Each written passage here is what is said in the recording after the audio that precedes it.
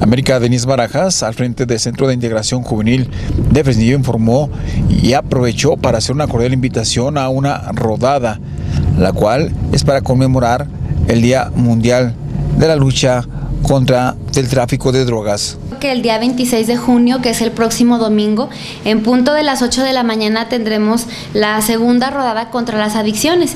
Eh, si recordarán, el año pasado tuvimos nuestra primera carrera de 5 kilómetros y esta vez pues decidimos hacer la modalidad de rodada por estos estilos de vida saludables que están manejando algunos clubes aquí en Fresnillo, de los cuales nos estamos apoyando con los, el club MTV eh, Fresnillo y, y bueno, pues estamos haciendo una cordial invitación a, toda la gente, a toda la familia que quiera participar. Es un evento completamente gratuito.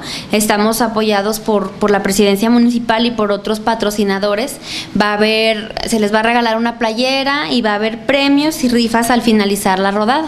Entonces va a ser una rodada de convivencia, no es competencia, va a participar desde los más pequeñitos hasta el más grande de, de la casa.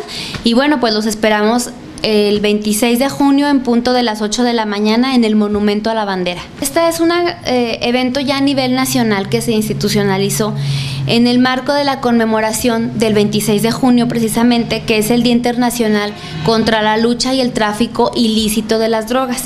Entonces, centros de integración juvenil preocupados por la promoción de estilos de vida saludables, pues lanzan esta convocatoria a carreras en toda la República de 5 kilómetros, caminatas, rodadas, eh, para conmemorar este día, ¿verdad? Nos, unimos a la lucha contra este, esta enfermedad que está...